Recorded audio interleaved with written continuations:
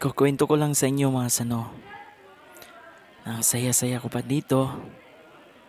Dito ko napagtanto na di sa lahat ng oras, ikaw ay palaging masaya.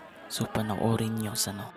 So ayun mga sano no, lumabas kami ng barko at kumain kami dito sa Chowking. Siyempre, ang in-order namin ay ang Family Super Melby. So sobrang saya namin, apat lang kami dyan.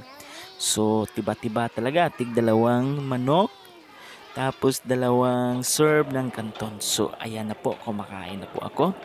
Sobrang kain na kain po ako niyan. Nakatatlong rice po ako niyan, dalawang manok at may pansit pa.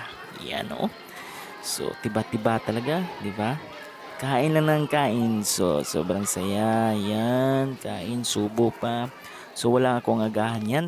Eh kasi pinaghandaan ko talaga ang pang kaganapan na ito masano kaya naubos ko pati mga tira-tira sa mga kasamahan ko. At ito na nga nangyari na nga hindi dapat mangyari. Tatain na ako sa no. So ayun na nga at this time, nandito na kami sa palingki at wala na sa Chowking. Ay nako, naghahanap na ako dito ng public CR.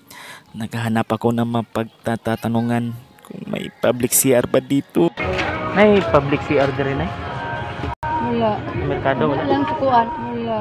Merkado Walang sukuan. What? Ano, sa Billerso, diyan yung CR. Asa sa? Ay, pa, Billers Lodge diyan. Ah. So, ayun na nga, nakahanap ako ng mapagtanungan at hindi na ako nagpasalamat pa kasi nagmamadalitan na talaga ako, mas ano. Oh, nagmamadali na ako. Hanapin ko pa ang Traveler's Inn. Sa Traveler's Lodge daw ako magsi-CR kasi doon lang daw ang may CR. Ma'am, pwede makasi-CR diri, ma'am? Ah. asa dapita, ma'am? Pila bayad, ma'am? Yes.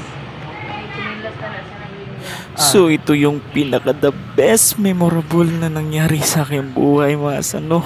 Very achievement. My God.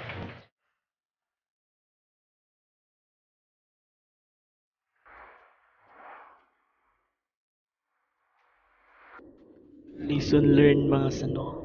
Huwag na huwag kumain ng marami pag nasa labas ng bahay.